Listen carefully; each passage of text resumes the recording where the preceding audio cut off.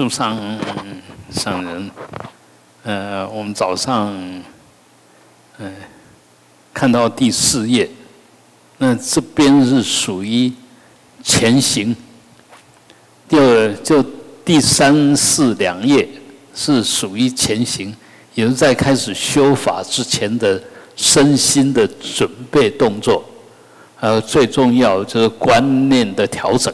啊。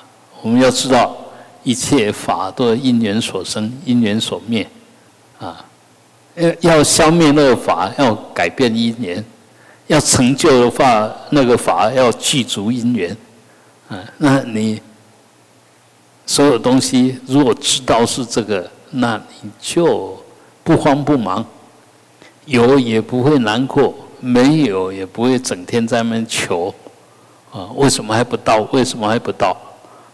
你若知道，哎，因缘还没有具足，所以很多东西你不需要期盼，哎，你要有智慧，要得什么果，要具足什么因跟缘，我们最重要工作就去种这个因，结那个缘，啊，慢慢让它具足，当然你所要求的果自然就会出现，千万不要打妄想，不要急，啊，急没有用。嗯，那个最麻烦，就是都快到了，就差那么一步，因为你急，得不到，放弃了。前面前功尽弃，对那个果来讲了，对那个果来讲是前功前功尽弃了，但是对你的造作业力来讲，如是因如是果了，哎，从来从来没有消失哈。你这一次达不到，呃，下一次可能就调整，调整你的观念就可以达到了。因为从前面走的过程里面，你也可以得到一些经验了。嗯，所以，呃，修行就是诚恳啊，老实，大概就是这个样子。不要急，不要不用心。不要掉以轻心，什么东西都要用心来学，这样才会学得嗯正确，学得相应哈。好，接着我们就开始来观修呃本尊。那在观修本尊之前，我们当然知道，呃，我们本尊就在本尊萨土，本尊是正报，那他萨土就是依报。所以我们常常会哎，要找这个人，要先知道这个人住在什么地方，啊，要要先有他的嗯医报的概念。那一样的，我们要去迎请呃阿弥陀佛，当然就要到西方极乐世界啊。所以呃有有一点点这种概概念。那一样的，极乐世界到底在哪边？在你的心里，在你心里的极乐世界才是真的，因为你可以受用。若不在你心里的极乐世界，那是一个客观的存在，跟你无关。啊，就好像这个外面有一棵树，啊，那它在那边本来是跟你有关呐，本来就有关哦。当你一想到那树，这棵树就跟你有关，马上有关。所以人事物都一样，不在你身边，那你天天想着它，它占满了你的身心。就在你旁边，你不予理会，哎，它就在你旁边，也不存在。所以一切真的为心所现，为事所变。我们先确定这个。才知道我修这个法是有用的，一切为心所现，一切为事所变，所以我只要心如法的去运作，到时候那个果相、功德自然就会显现，就会让你受用。那至于用哪一种方式受用，其实我们真的不知道。但是你不要想说我要的怎么没有，哎，我们常常就是因为这样子麻烦。你只要老老实实修，你记住什么条件，就有什么功德，那是很自然的。但是你不把它当成是一种功德，就然后我我上次也讲过，我最近最大的一个改变是，以前如果人家问我修的怎么样啊，有没有得到什么好处啊，我都会回答不晓得，或者说没有。现在我很肯定的说，我真的修的不错。为什么修的不错？我现在身心状况很不错。就因为有好好修，所以现在可以这个很好的身心状况让你受用啊！你还不晓得感恩，还不晓得哎，你有今天的身心，是你这样一点一点一呃累积上来的，是依法奉持才得到的，不是你本来就应该这个样子，不是。嗯，所以一定要深信因果啊，不要掉以轻心。嗯，已经。跟人家受用半天还不晓得感恩，还不晓得回向，这个当然就很大的问题呀，啊，所以呃，我们做老师的面对自己，安住在当下，你会当下你就安心，当下就用一种很感恩的心而存在。你又不晓得感恩，你是一直追求，追求半天，你一点都不受用，为什么？你有了，你都不晓得有啊。你都不会用它，所以这个观念有一点点的误差，其实你的反应啊就完全不一样。好，所以我们要希望能够到净土，然后去成佛。那这个过程里面，当然这仪轨里面其实已经讲得很清楚。啊，这一轨里面就通通讲了，我们可以从后面讲回来，因为后面是结果。那你要达达到那个结果呢？你要发什么愿？要行什么行？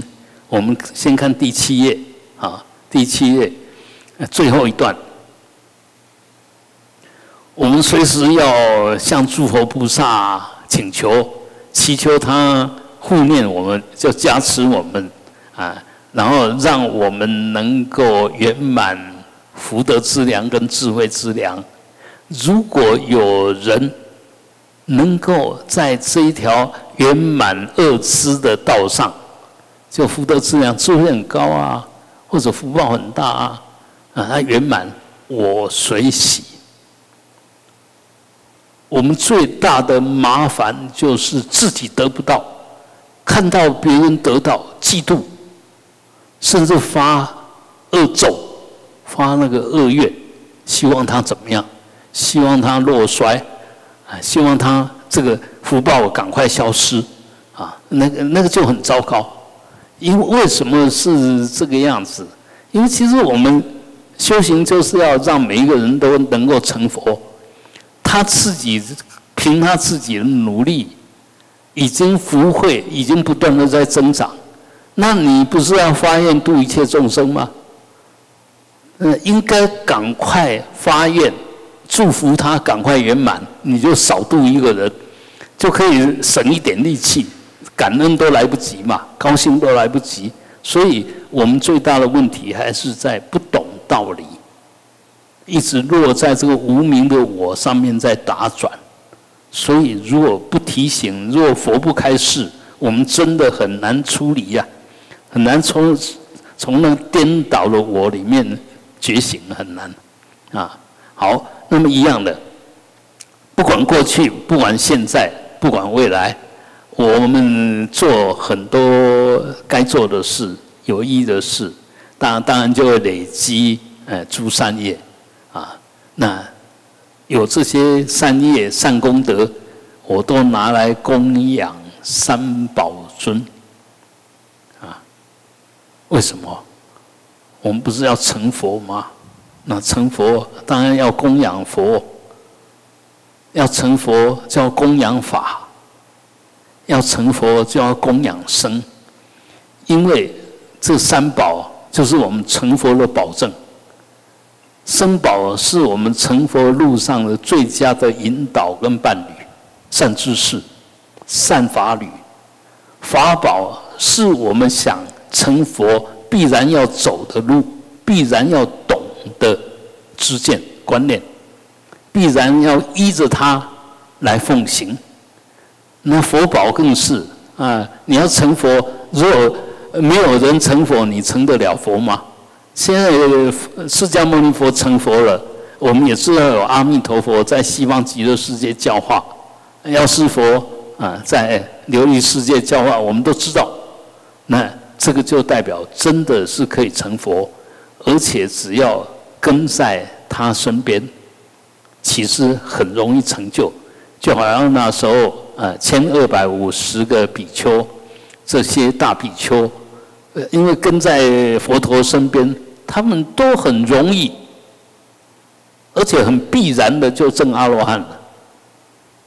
啊，因为有这个就近的善知识在指导，在护念你，在看着你，在引导你，啊，所以我们要有这种福分，也要结缘。所以，你若供养三宝，你就跟三宝结上了不解之缘，生生世世可能就有机会，哎，亲近三宝。唯有亲近三宝，才能够成佛，才能圆满我们的愿望啊。那因为供养三宝，所以当然希望三宝兴盛啊。那所以愿诸佛法普传扬，啊，不要命。只要自己得到一点好处，怕别人跟你分享，其实那个都是颠倒了我的反应。如果真正的你依着这个，大家都是平等的有佛性，我现在懂一点，掀开一点点无名，你会赶快爱不让灾，因为你法喜充满，绝对不会有那个恶的想法出现。那恶的想法都是自私，都是无名的我在那边作怪。啊，那不管我们做任何善业，都要回向有情众。那回向有情众，当然具体的来讲，就是布施啊。啊，有有财就财布施，有法就法布施啊。自己有一点点安心之道，就做无畏施啊。所以这个要随时懂得回向，不要占为己有。懂得回向，变成无穷。占为己有，变成有限。嗯，这个最常听到打的比喻，我们有点滴功德，就好像成就点滴的水。我们若回向大海，落入大海，你这一点滴的功德永远不尽。若你执着这个点滴的功德，那摆着不放，嗯，就不用，那很快就蒸发掉了，很快就不见了。嗯，所以这个观念会影响我们的每一个当下的作为。那当然，我们也要发愿，一切众生都能够成佛，一切众生都能够借着它的存在来积聚一切的诸善根啊。呃，善根就是善果的根呐，所以善根也可以讲善因呐。那善因存在你的起心动念的善念，常常常常起善念，嗯，常常想去饶益众生，那唯愿自心得成熟，啊，让我的心能够慢慢的成熟。什么是成熟？成熟就是果要能够受用，啊，那我们的心真正的成熟，就是不再用那个青涩的心。用那个呃粗呃很粗糙的心，而是用我们这一份清净的心啊。那如果能够心得成熟了，你自然就没有烦恼障，没有所知障，能够除一切障。而且我们早上也有讲过，修行就是两方面，一个上，一个戒。上就是去除一切障碍。戒呢，就是圆满一切资粮、一切功德，所以在这个地方，我们讲呃，修行就是要除障，要圆满功德，圆满功德就行善、起善念、行善行。那个恶障呢，就身跟心都不能犯错，啊，不能有烦恼障，不能有所知障。大部分的烦恼障指的就是这个粗的身心，而所智上是你的观念，啊，所以呃一定要深入经藏，一定要亲近善知识，一定要随时起善念，行善行。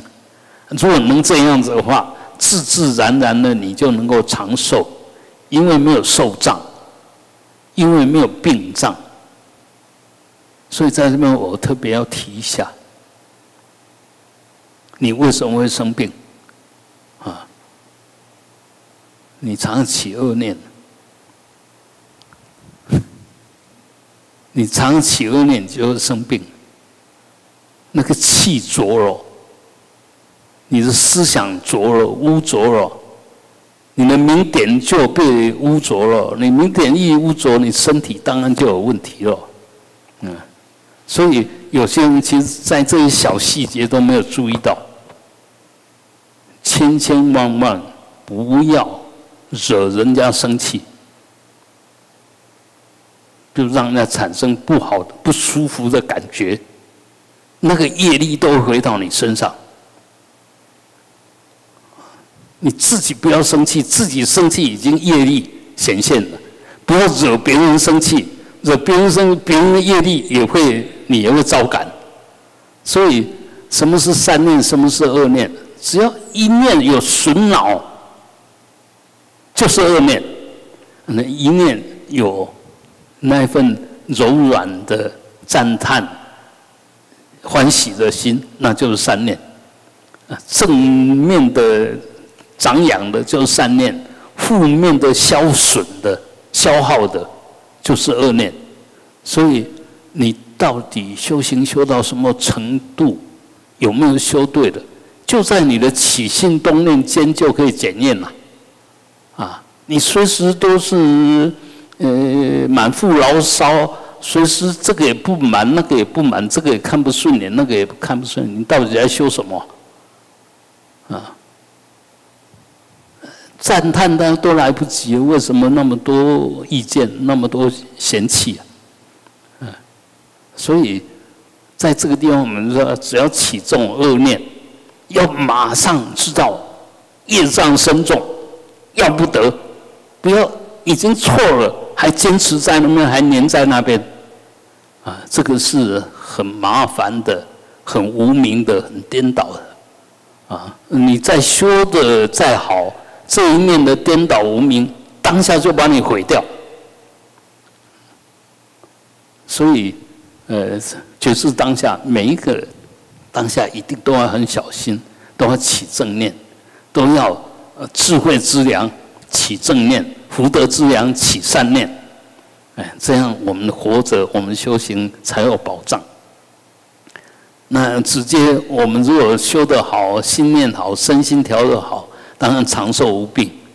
那因为修得好，调得好，这个智慧资粮不断的累积，当然你的正悟就能够增上，啊。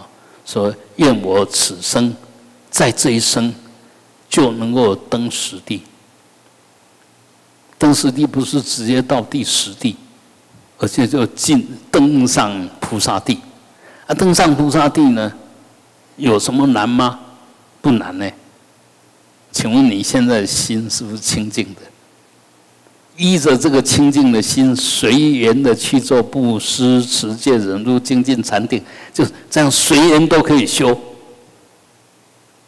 当下只要你的心不颠倒，你依着这个清净无我的心来修，都是菩萨的行者，也就果地的菩萨。嗯，千万不要说我现在是因地菩萨，呃呃，没有没有，呃，现在我在学着当菩萨。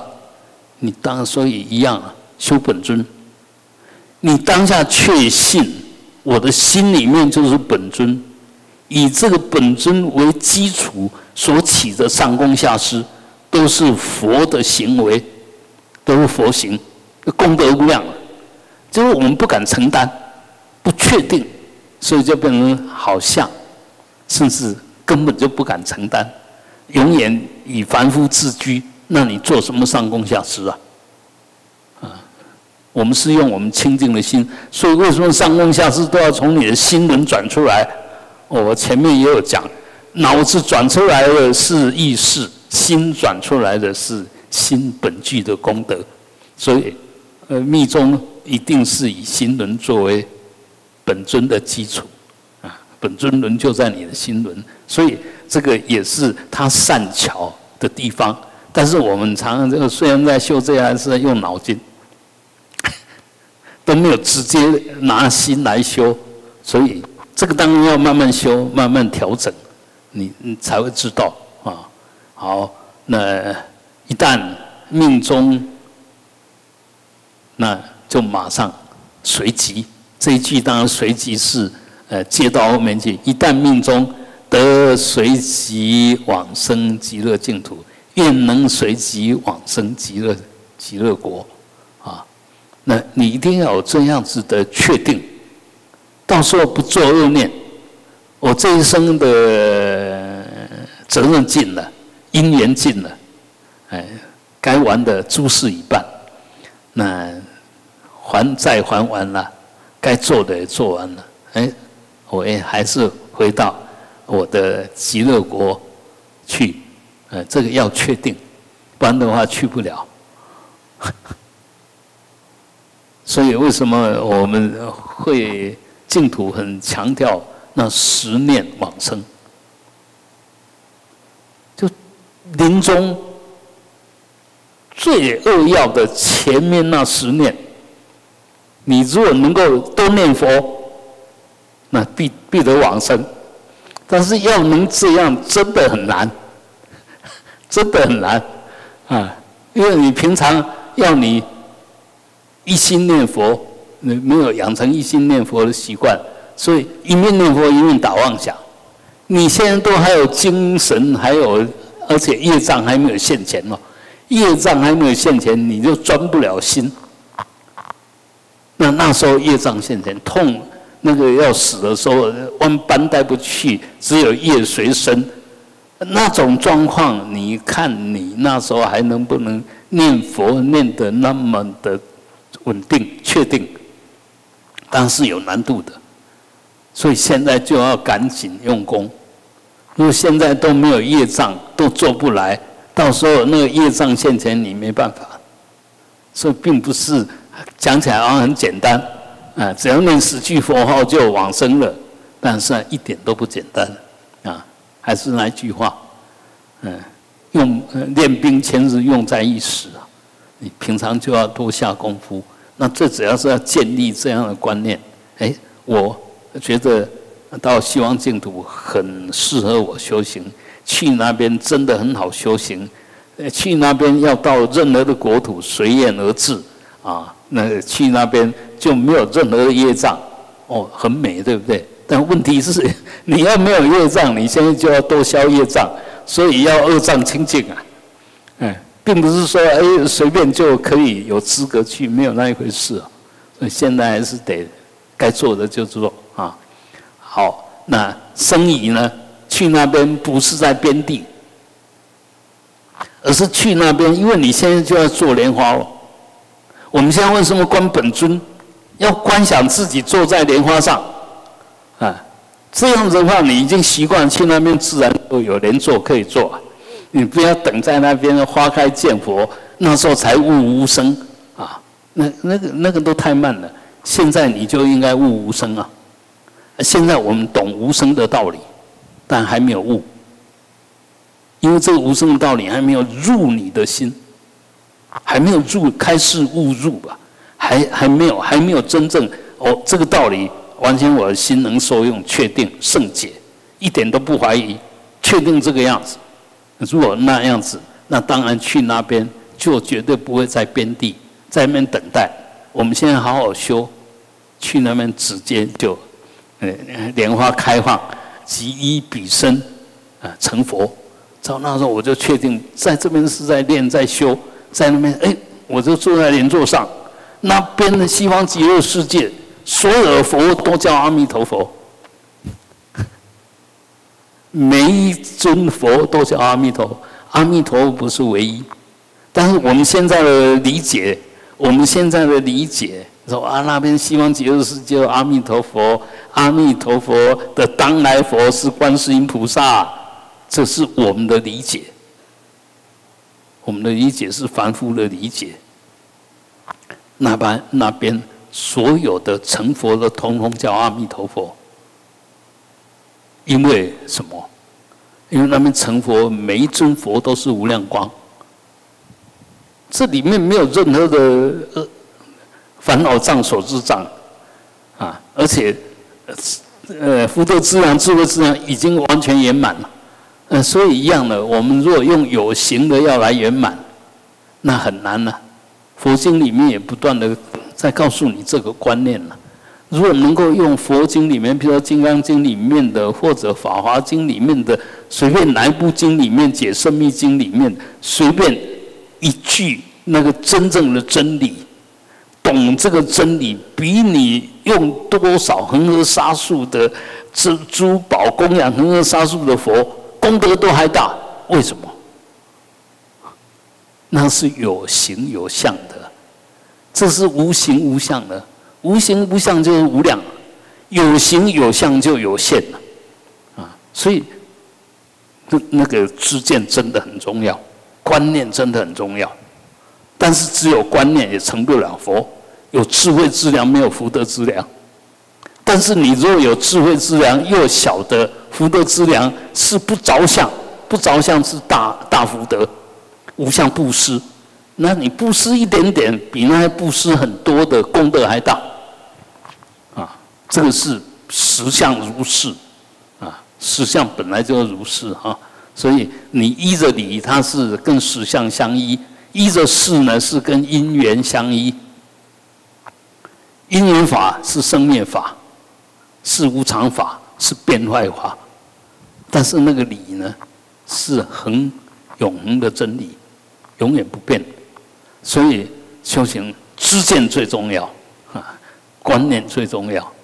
如果观念没有弄对的话，其实弄半天，嗯，就好像说我们听经，听的最多的就会开悟吗？不是。阿难是在他们那一群里面，他他最慢开悟的，他听最多，啊，而且都背起来了。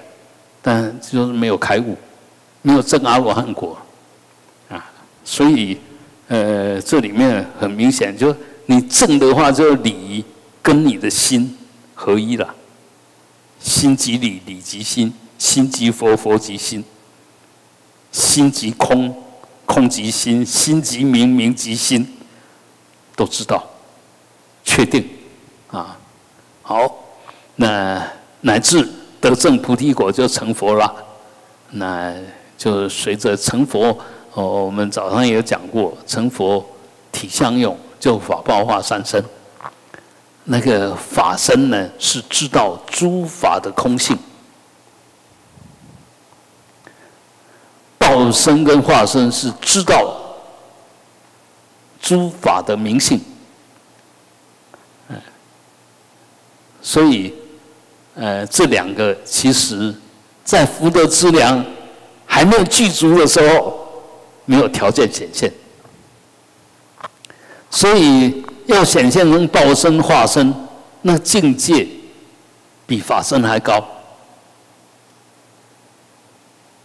所以一样的，我们说密法里面的把斗，就中阴呐，中阴救度法里面，其实要正法身。是最容易的，正报身比较难一点，正化身更难，跟我们理解刚好相反，对不对？我们理解是觉得正化身是最表面嘛，正报身是要有更深的内涵条件嘛，正法身是最究竟嘛。事实上，你要知道，法身是理。道化两身是显现成事，这个要条件的，因为有条件才有难易，没有条件根本就谈不上什么难易。所以正法身呢，哎，就明心见性的，其实就已经正法身了。然后在正法身的同时，不断的去行六度万恒，来积集这些资粮，智慧资粮在深化，啊，福德资粮在具体。那到最后才能成就报化两生，啊，所以报化可以启用呢，当然功德力更大，啊，那我们说啊，报身报身是教化登地的菩萨，是登地的菩萨好教，还是不登地的菩萨好教？哪一个人功德要比较大？但是做难事的才是功德大，所以正化身难过正报身，正报身难过正法身。但事实上反过来讲，你若知道缘起性空的真理，就知道真空的道理，正了法身要正报化两身是随缘成就了。最主要是我们根本就错。啊，根本就错，所以弄半天变成很难。你说根本对了以后，其他接着下去就是随缘发愿嘛。所以我们到智波罗蜜，这个六度波若波罗蜜以后，又展现成另外四度吧。啊，所以这个就是晓得，嗯，般若波罗蜜。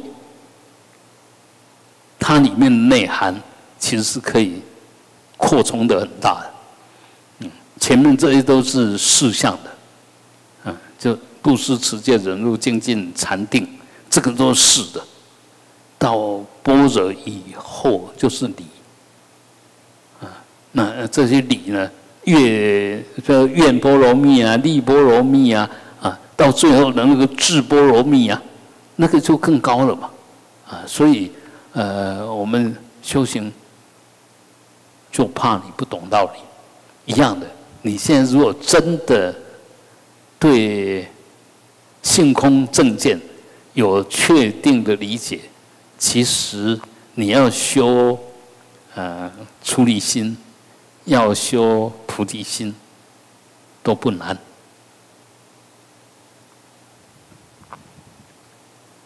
这个根本之见。我们耶达玛黑度布拉巴瓦那个根本之见，你若懂以后，其实要除障很简单，要离开恶报很简单，因为你知道到底要怎么离。本来不聚，何须离？本来没有，为什么要否定？那虽然有，已经有了，能否定吗？还没有现前，没有现前，能得到吗？就这个呃，这个道理懂了以后，你就不急不徐，轻轻松松的安然度日，每一天都很轻松的修行。修行是什么？很轻松的面对自己的身口意的行为，去做检讨改进。在这里面安安稳稳的修，其实一点都不急。假定弄破啊，啊，那个突然这揠苗助长，那个长不大的了，嗯，还没有长大就死掉了。我们还是安安心心的在安住在当下，觉知当下，安心办道。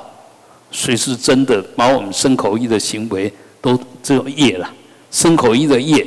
去做一个净化提升的工作，这个是最实际。所以，真正的懂的人，他随时都很安心，不急不徐，没有什么好紧张的，也没有什么好坚持的。啊，你若紧张干嘛？坚持为什么？莫名其妙嘛。啊，所以。千万不要被我们的无名习气误导，还是要随时回归我们的自信啊！好，所以呃，这个这个就是修行的全部，也是修行的平常。我们平常就要这么修。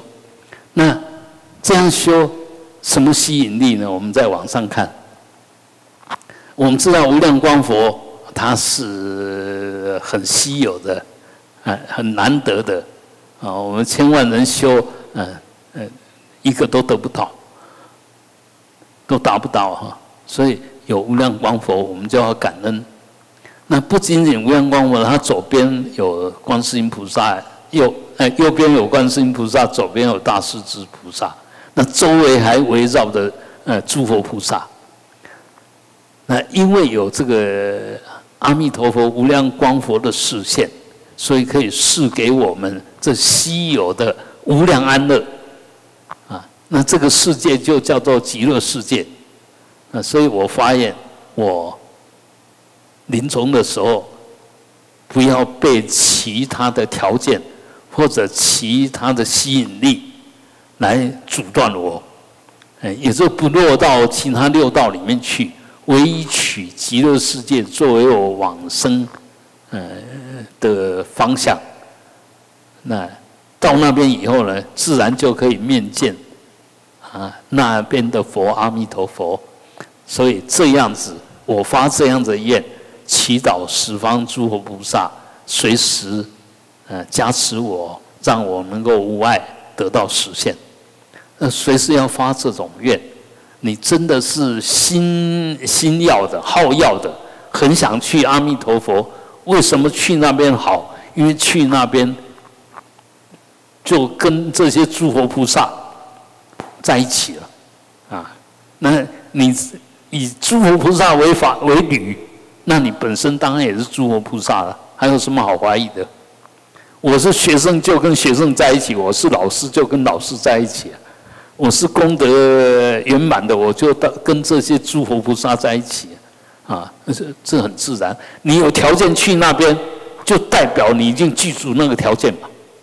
所以我们现在不能去也没关系，哎，就尽量的依法奉持，该怎么做就怎怎么做。那密密教是比较讲究效率的，而且也比较重实相。因为密教的时空是一，所以才有所谓几生成佛，几生成佛。那我们是来世，希望来世怎么样？啊，希望来世怎么样？这一世就要怎么样，才能够打破来世跟今世的那个差别。所以你，呃，当生当下就要好好修。当生当下就要把自己当成阿弥陀佛，当生当下就要把这个生命拿来奉献三宝，拿来回向众生，所以这个就是密法仪轨里面的内涵呐。啊，好，那我们就从头再来，因为里面还有手印啊，还有这些呃咒语要讲。首先就礼敬阿弥陀佛。啊，当然我们念梵文叫南无阿弥达巴呀。那这个李靖他把阿弥陀佛当成我们的上师，当成自己的上师，把阿弥陀佛当成自己的本尊，打把阿弥陀佛当成自己的空性护法。他既是你的老师，上师就是老师啊。呃，没有阿弥陀佛的引导，我们没有办法啊，也成不了佛。那你若不发愿作为阿弥陀佛，你也不会成阿弥陀佛。你要发愿要行这个佛道，你如果没有这个空行护法随时护持着你、帮忙你，你也没有条件。所以在这边，我还是要再落实的来讲，什么是空行护法？你所结的善缘，通通是空行和护法；你所结的恶缘，通通是魔鬼，都是都阻碍你的。那空行护法在从哪边生？魔鬼障碍从哪边生？从你的心念生，从你的作为生，也是从你的业力所生。所以在这边，我要呼唤。我们真正的学佛的人，千万不要随便起负面的想法，对任何人都不要起负面的想法，甚至不要去恶口啊，去那个那个，其实都在帮自己找业障。你找护法都来不及，还找业障，对不对？那有些人莫名其妙就学佛学了不晓得烟年了 N 代了，但现在那个习气之见，还是通通颠倒错误的，表现出来通通是在找业障的，不是在修功德的。嗯，所以这个务必务必要很恳切的来面对这个。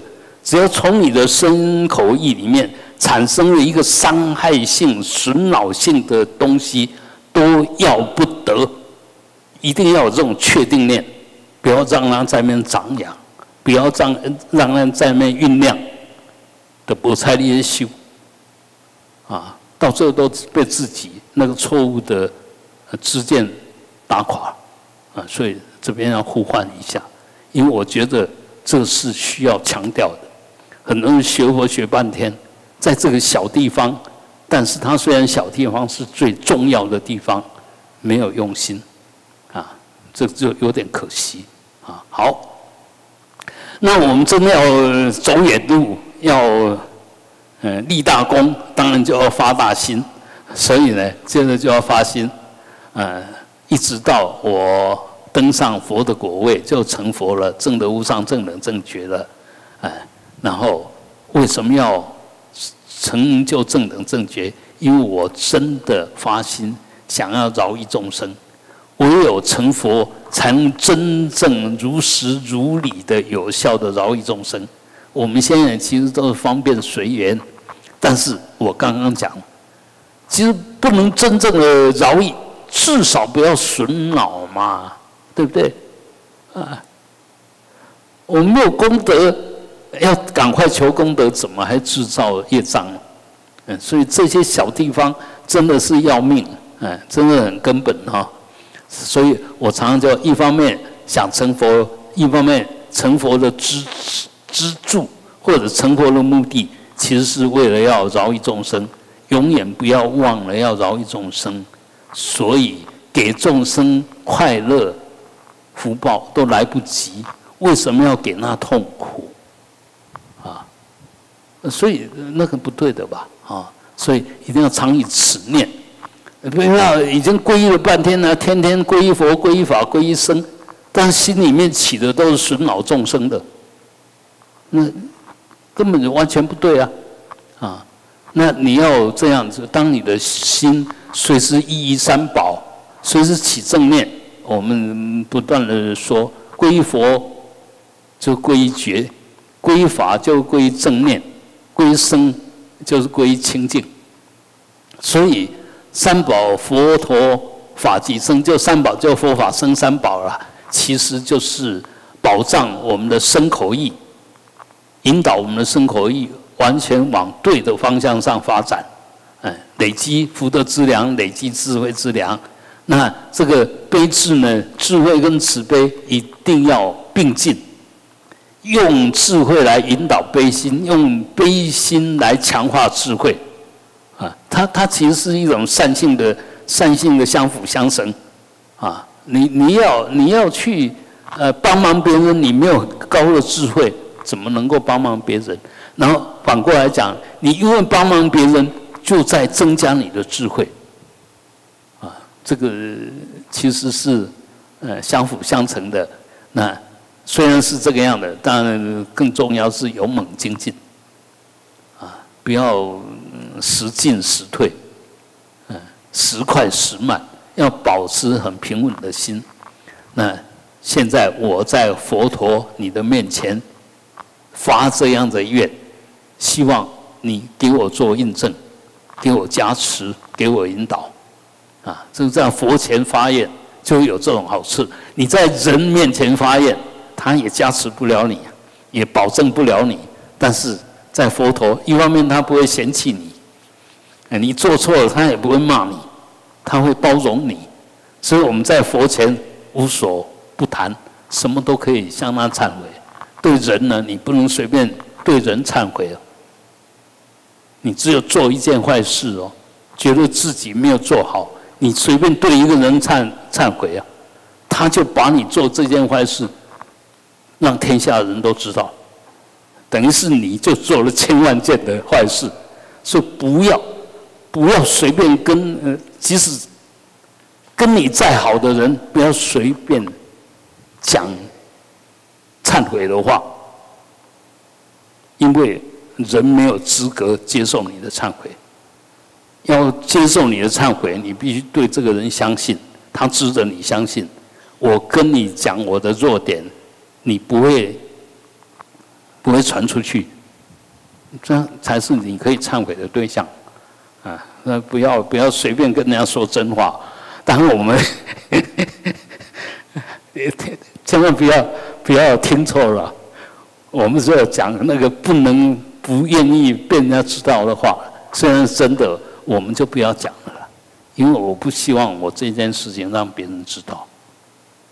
但是如果真的有好朋友，我们一个发怒，其实就是一个忏悔业障最直接的方法。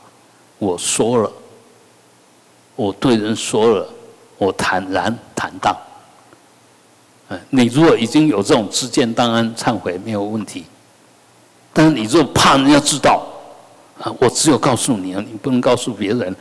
这样的话，千万不要，千万不要去告诉别人，就忍着自己知道就好，不要随便跟人家说，因为这是长久以来所看到的结论。常常我们说，哎，因为我跟他很好，到最后这些好好朋友都出卖你，因为我们的人心是不是那么清净？虽然本心清净。但是，我们习气业力的起心动念啊不清净，这个一定要知道啊。好，接下来我们就要要升起清净的净，那必须把那个污染的净先给关空。所以接下来就关空咒：Om Swabha Sutta Dharma。斯瓦巴瓦斯多汉，斯瓦巴瓦叫做自信，斯大叫清净，自信是清净的。沙尔瓦一切达尔玛法，一切法斯瓦巴瓦一切法的自信是多清净。所以我们要知道清净是什么，有什么东西。比空还清净的，所以清净这个空一尘不染，才叫清净嘛。那呃请问这个世界上处处都一尘不染，那可能会怀疑：嗯，明明那么多沙土，你怎么说一尘不染？尘归尘呢，尘就是它本身呢。尘归尘了，尘跟你无关了。那你把尘拿来，你希望它无尘的地方，当然就污染了。好，那尘在这个地方，你把尘拿掉，不就还是清净的吗？所以只要不着不细，就不要执着，不要粘着，是本来清净，本来无一物。何处惹尘埃？心有什么东西？所有的染，如果心不染，哪来的染？心为什么染？心着相执着了，所以本来是清净的。一切法，你说这个，说这个，都是一个独立的缘起物啊，嗯，互相不干扰啊，所以每一个都是清净的。每一个都是如理随缘的显现它该显现的相，有什么不清净？本来就如理如实的，嗯，所以我对佛法的理解是越来越入世，越来越肯定，肯定什么？本来清净，一切都清净。为什么？一方面从体现上它上来讲。它是空，从悟性上上来讲，它是它，它就是它。你为什么期待它不是它？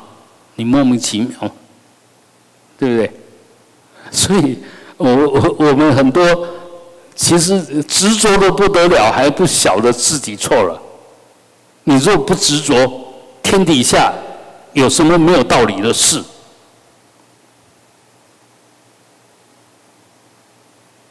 一切事都缘起，哪一件事情没有道理？啊，所以你不要用你的意意识的期待，希望世界随着你的念头转。你应该要客气一点，如实的去观察所有的人事物，你就会晓得本来如是。这个人是坏人，是我们安的，他为什么变成坏人？他专。专干那个损脑性的事、破坏性的事，他为什么会做这些事？因为他的知见如是，他的心习如是，他的因缘如是，错了吗？没有是非啊，只有因缘了。你要改变他，就改变他的因缘，才能改变他嘛。啊，你改变了他的因缘，他人就跟着改变了。他怎么是坏的？他是没有自信的，他是随缘显现的，哎，既然一切随缘显现，哪来的自我？呃，我们着什么相？什么好，什么不好？好也是你说的，不好也是你说的。那好，你就去高兴吧；不好，你就去痛苦吧。也没有人帮得上你忙啊。好，呃呃。但但是正确之见就可以慢慢修改我们这些莫名其妙的呃执着，莫名其妙的着想，莫名其妙的分别，就可以慢慢的去掉了。好，那接下来因为我们要进入那个境，啊，所以就开始做观想，我们要亲近阿弥陀佛，亲近西方三圣，所以我们就要在我们的面前前方，就在顶前一宙的地方。这是最好观想的距离，嗯，就差不多在这个地方观想。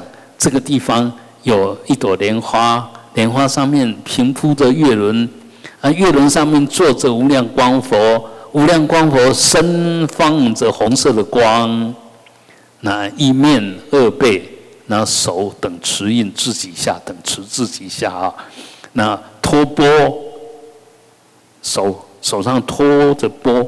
钵里面装满着无始的甘露，甘露啊！那身着三法衣，披着法衣，那金刚加护坐，就坐在这个莲花月轮上。然后在他的右边呢，是白色的观观自在，就观世音菩萨。他的左边呢，就是呃大力的大势至。其实大势至菩萨就金刚手菩萨。啊，瓦吉拉帕尼，叫金刚手菩萨啊。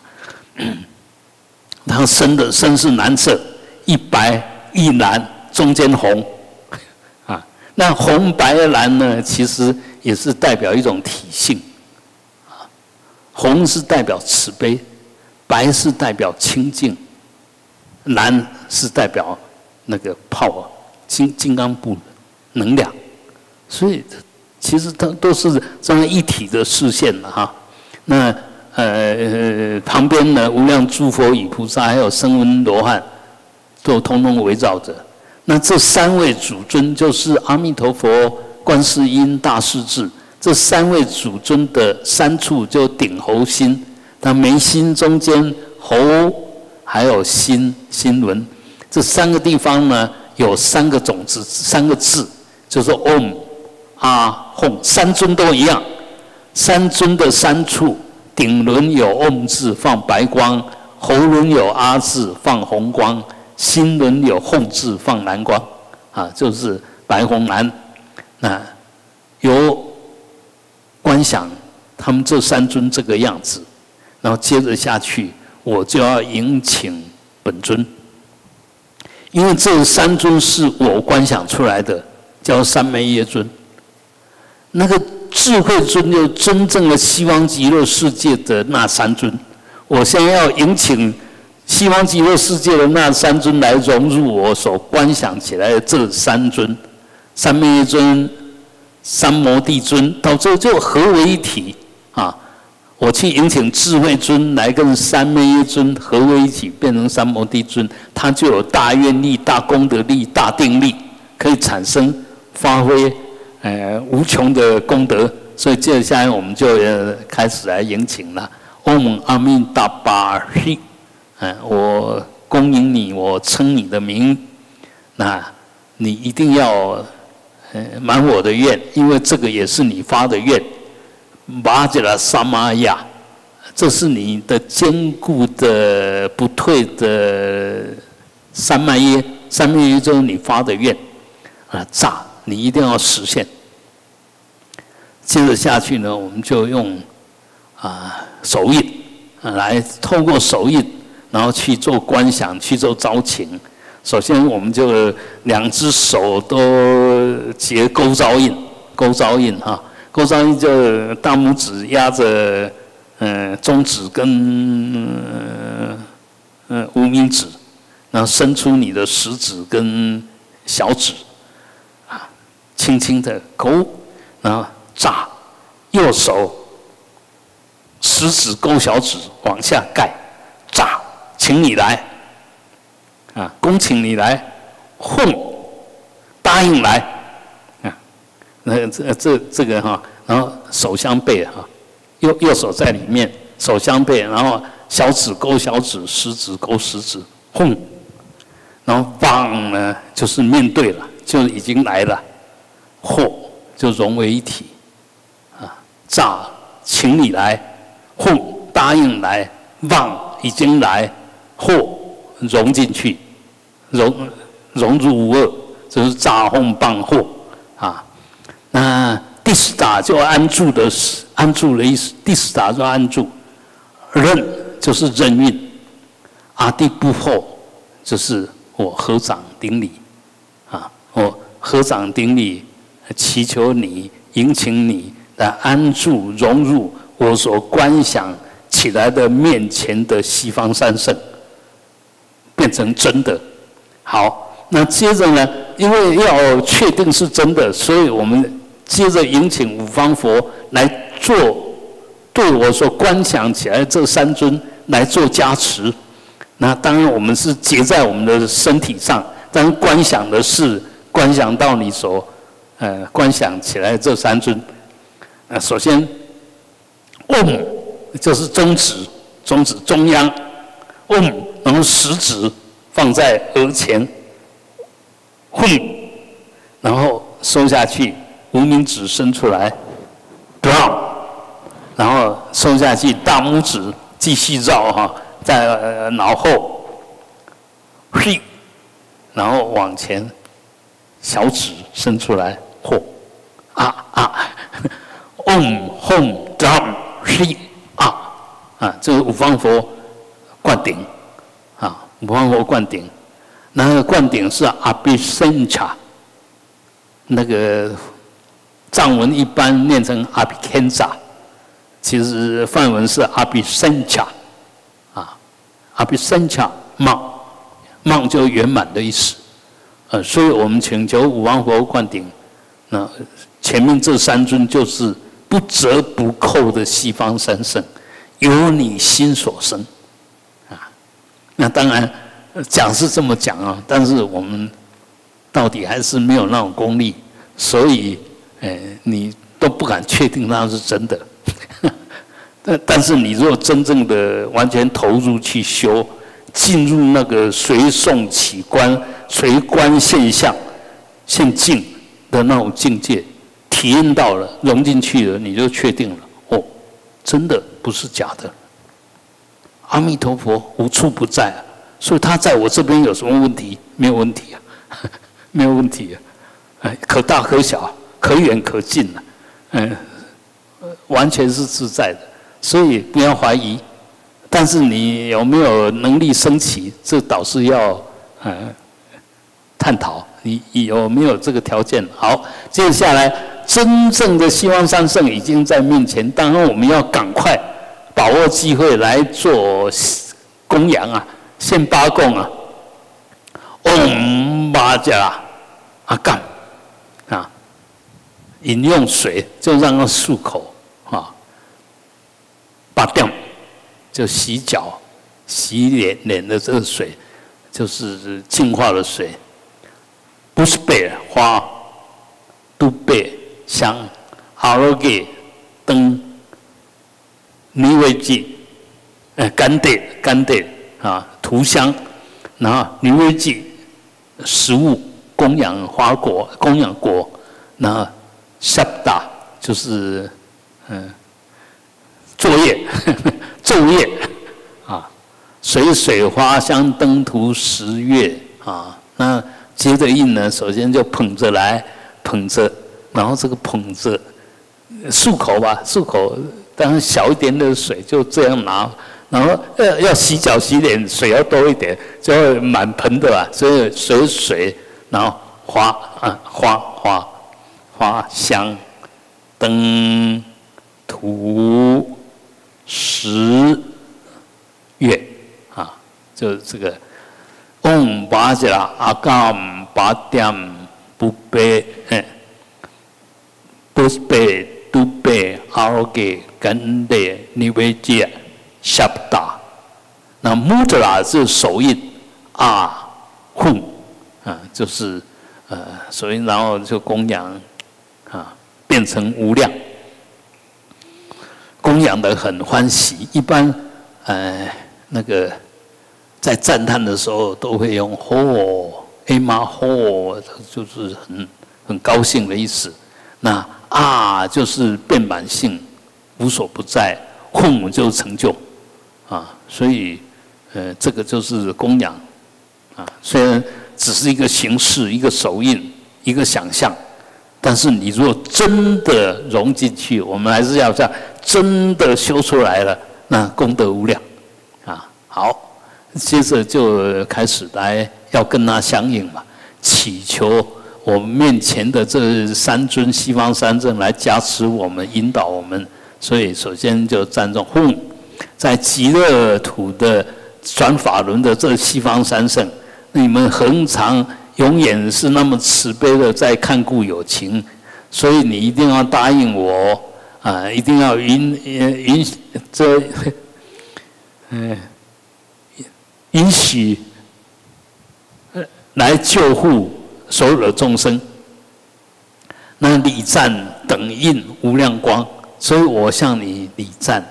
等印是平等的相应，就是跟无量光佛完全无二的来相应，叫等印。啊，那在这里面，当然一方面是赞叹真正的西方三圣，二方面是赞叹我现在供养起来。观想出来的西方三圣，其实无二无别啊。接着下去讲主尊就是，呃，主尊就是阿弥陀佛吧。那圣众就包括两大菩萨，还有其他所有的佛菩萨。那我们啊放光到西方，就观这这时候我观想起来的这三尊放光哦，到西方哦。那从极乐世界哈。呃，无量光佛那个地方，引请视现种种无量的佛像、咒曼还有法器，所以，呃，这些当然对我们都超出想象。但是以前我有一个老师姐，嗯，是我我我我上师的侍者，他有一次来高雄学会，嗯，来住一段时间，他说。哎，你在修法的时候，我都会听到天乐，好好听哎！当然，可能是一种鼓励，因为我知道他有点重听，他有点重听可以听到天乐，我们耳聪目明听不到。对于生来讲，我相信他是说真的，他真的听到了，但是他听到不是我们听到的，因为修持不一样，境界不一样嘛。啊，所以这个在在修行的过程里面都有很多这个故事，还有经历，其实都还蛮蛮好玩的哈。那这些东西恰如雨降，悉融于己身，就是这西方三圣观想家先去引请真正的西方三圣，整个境界就加持进来啊。那接着下来就我对这三尊的赞叹了，无量光佛甚稀有。大悲观音大势至，无量诸佛与菩萨专一虔诚而祈请，其事与我胜成就，加持圆成无量光。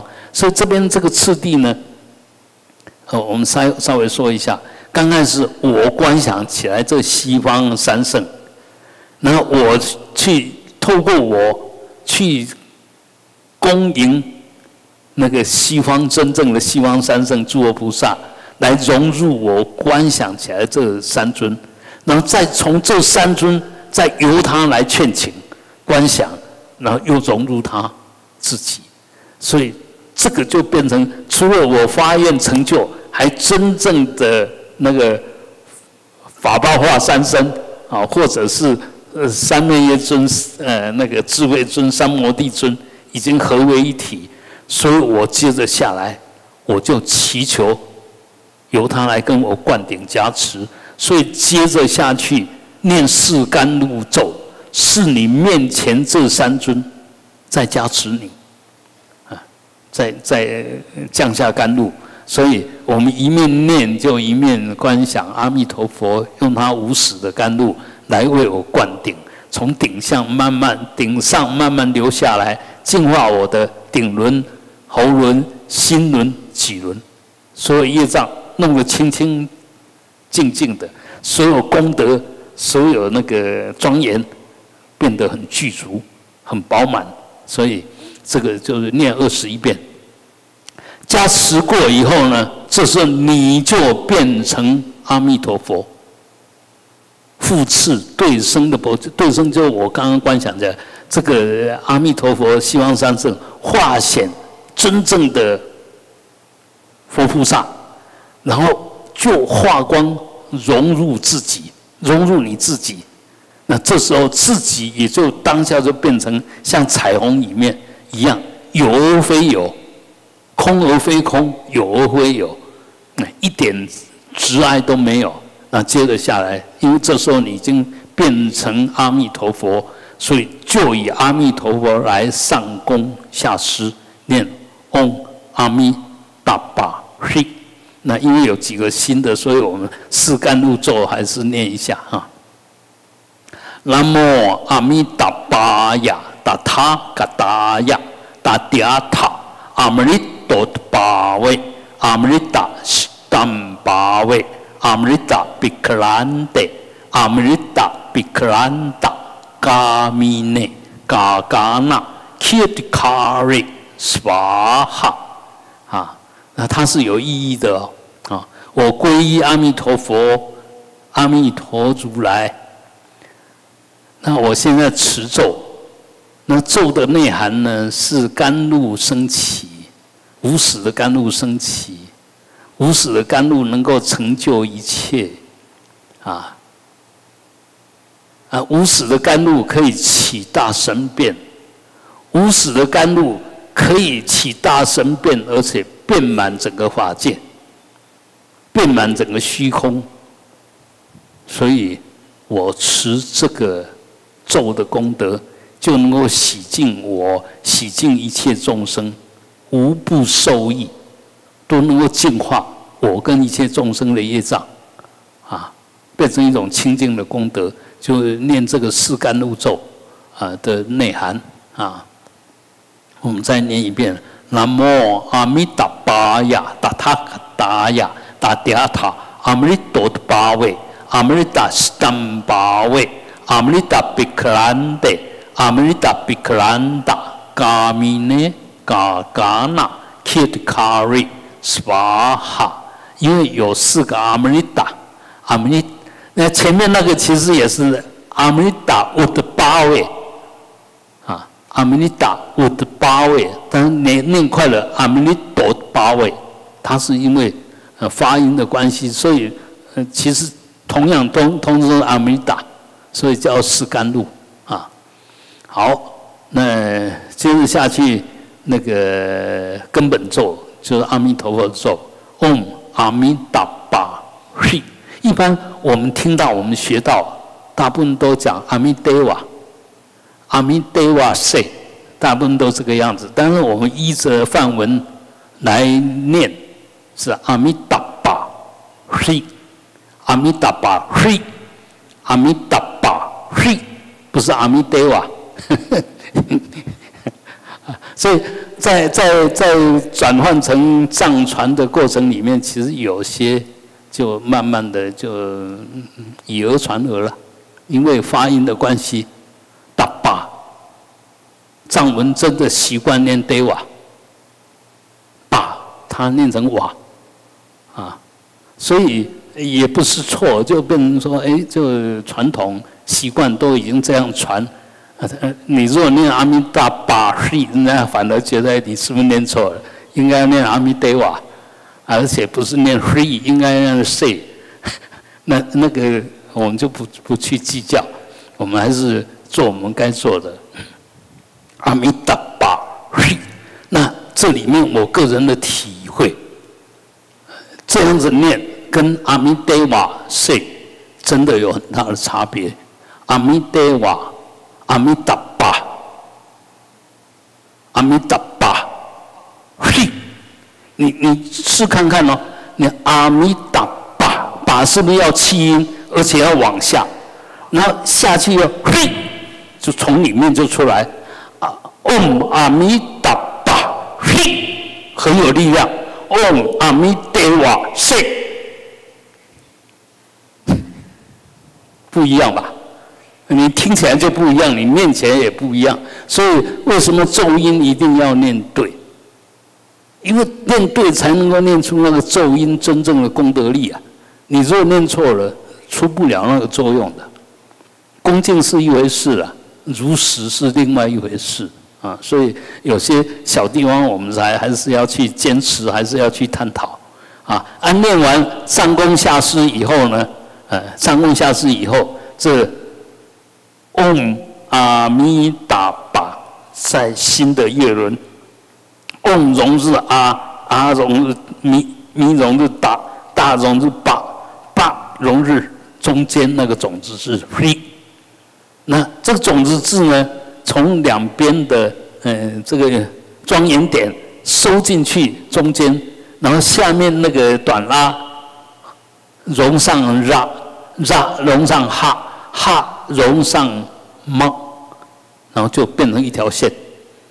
所以这个字我们也不用那么复杂，反正就这个字一下子就变成在你中末里面的一个光明，一个光的能量就在你中末里面。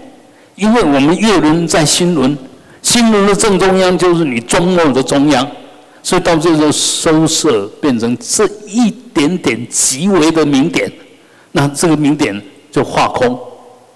就是空，那空不是真的空，空有无碍，所以接着下去呢，啊，融入光之见，光之见融于空，然后在这里面明空双印，啊，它在这里面自然怎么幻变，我们只要了知，了了分明就好，不要着相，不要不要着有相，也不要着空相，有相是幻化的相，空相呢是不动的相，其实。通通是空幻的，一一点都不实。但是在现的当下，现当下就实现嘛，现现量嘛。你不能说它没有，不能说它空嘛，啊！所以我们修行要在有里面善用，善用有不着空。我们现在是排斥有，执着有，又落空。两边都不对，啊，真正对的话，就两边都对。空无碍，空又了了分明，了了分明就一点都不分别执着。啊，这是会有问题吗？当然没有问题。好，这所以在这边你就尽量就做，能做多久就做多久，保持那份心的空明，保持那份静的显现和空。啊，内空外空，一切都空。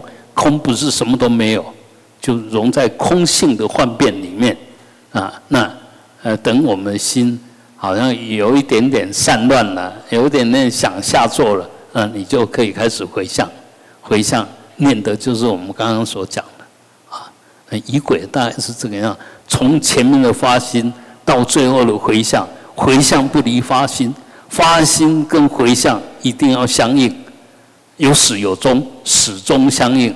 中间的过程呢，也是完全是要达到这样目的的一种运作，啊，所以这个就是仪轨。